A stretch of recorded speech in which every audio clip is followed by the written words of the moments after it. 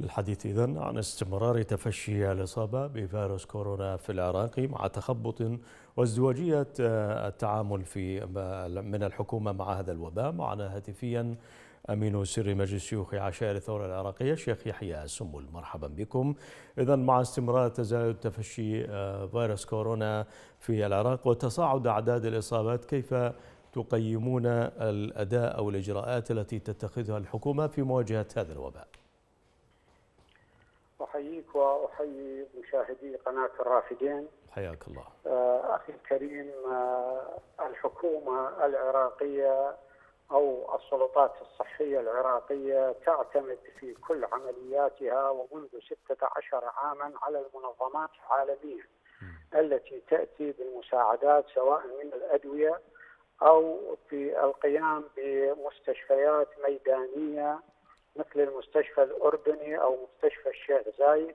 دون أن تقدم هذه الحكومة أي بناية لمستشفى حديث طوال 17 عاما.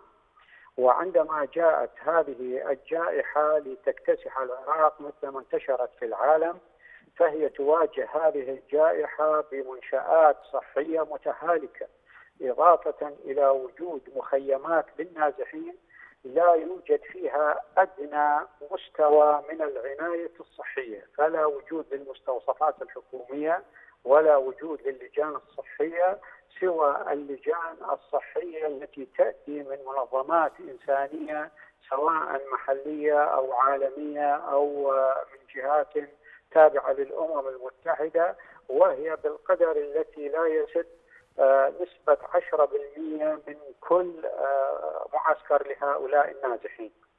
لذلك آه، توقعات انتشار هذا المرض لعدم وجود جدية من قبل السلطات الصحية ولا من قبل الحكومة في انتشار هذا المرض. ولكن المعول الذي يعتمد عليه الشعب العراقي هو النخبة المثقفة التي تحاول أن تمنع الكثير من الناس من النزول إلى الشارع وعدم الاختلاط وقد من هذا يؤدي إلى التضييق عليهم في أرزاقهم وفي عملهم.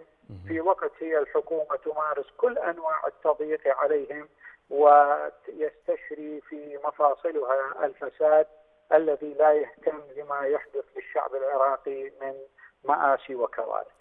مفوضية حقوق الإنسان في العراق انتقدت ما وصفتها بازدواجية القرار بين بغداد والمحافظات مجالس المحافظات بشأن الاستجابة لمواجهة فيروس كورونا في العراق كيف تصفون هذه الازدواجية؟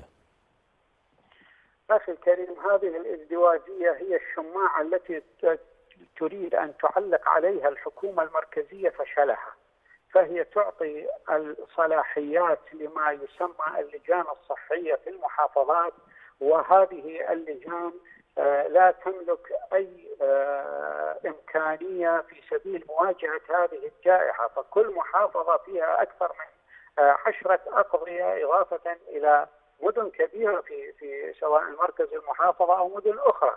لذلك هذه الحكومة المركزية عندما تطلب من هذه اللجان في المحافظات في سبيل عندما يكون هناك أي خلل تقول بأن اللجنة الفلانية في المحافظة هي من تتحمل، تريد أن تلقي بالمسؤولية على هذه اللجان الفرعيه التي غير قادرة على اتخاذ القرار ولم يحدث في تاريخها مثل هذه الجائحة وهم أغلبهم من الأطباء الجدد أو الإداريين الذين جاءوا بموجب قرارات حزبية وميليشياوية وتقاعد الكثير من أولئك الذين كان لديهم الخبرات في مواجهة هذه الأوبئة والجائحه أو ما ما يسمى هذه الفيروسات الجديدة التي تجتاح المنطقة.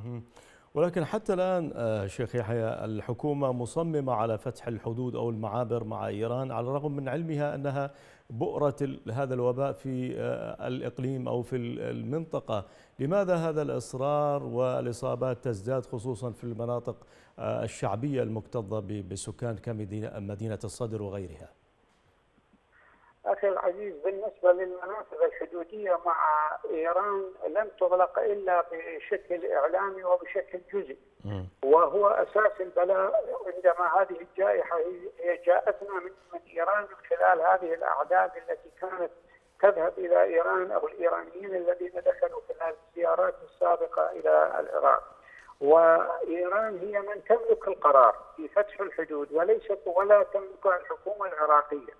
وعملية إغلاقها يؤثر بشكل اقتصادي على إيران لذلك إيران هي من آه، تطلب من آه، تابعيها في الحكومة العراقية وهي بأكملها ترتهن لقراراتها بفتح هذه الحدود من أجل تمشية آه، مصالح إيران على حساب على حساب الشعب العراقي وما يجري عليه من هذه الأمراض. إضافة إلى إلى ما جرت عليه من مآسي في ظل هذه الحكومات المتعاقبة الخاضعة لإيران. عبر الهاتف من سر مجلس شيوخ عشائر الثورة العراقية الشيخ يحيى سنبل شكرا جزيلا لك